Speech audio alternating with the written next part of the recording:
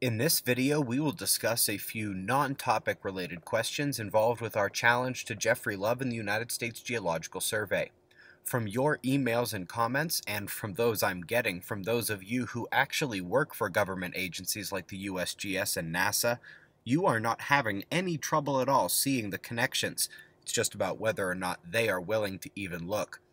If you haven't seen our challenge, we have an easy version and an intermediate version. Both video links are right below here for you to click. Let's get right to these couple questions, however, because there are some that go a bit outside the subject matter. First, why would one of the world's most respected scientists respond to such a childish and immature challenge? While a bit of levity does not a child make, I do see the point against my using some humor in an academic challenge. And as for a response, I really don't expect him to.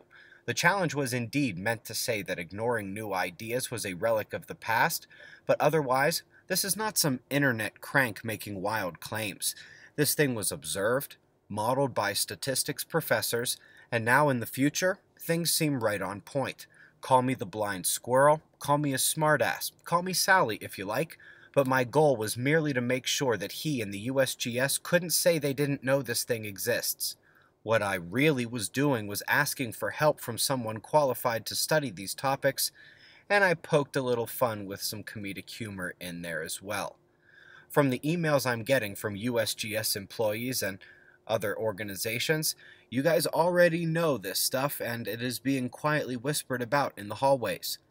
Consider that my perfect scenario is a modified version of Sagan versus Velikovsky, except where Velikovsky said the mainstream was all wrong and that he had all the answers, I'm saying that what Love has looked at thus far is correct, but that there is something else he should look at that appears to show a great deal of promise, and that while I don't have all the answers, I am ravenous in their pursuit, and I do not expect Jeffrey Love to claim any other mode of action. Well, like I said, absolutely nothing. It's my full expectation that this is going to be ignored and hope that we will just go away. Not sure that works with a quarter million people, but that's besides the point. In a perfect world, he would hear me out and try to push the science forward. Not every quake or solar magnetic field event hits the model perfectly, but not all your fingers or thumbs. This is not 100% simple in terms of analysis, but it is my contention that he could handle this far more easily than his previous work suggesting the sun did not cause earthquakes. How can this help save lives into the future? Well, future is the key word there.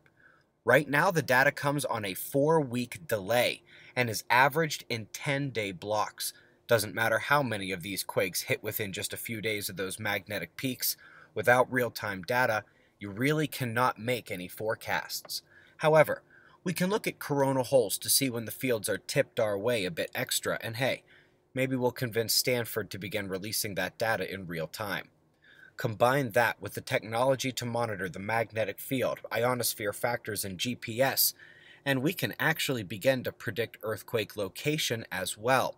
The goal would be to get them all, but saving just one life might be considered worth the effort. Is there anything you can do? Sure, there is plenty you can do, and a few things that you should do.